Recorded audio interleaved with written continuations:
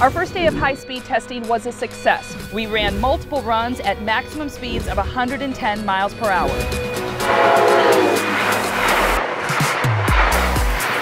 Our test train, Bright Green, left our running repair facility bright and early at 7.30 in the morning and headed north to the testing area.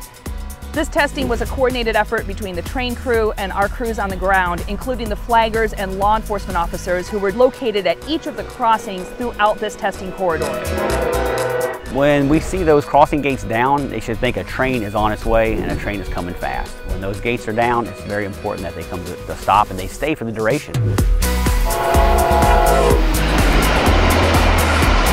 Safety improvements have been made at these crossings, including new crossing gates, signals, roadway markings, and quad gates or medians to deter people from driving around the crossing gates.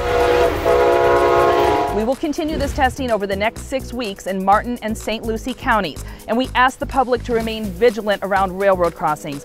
Don't stop on the tracks, don't drive around the gates, and only cross at a designated crossing.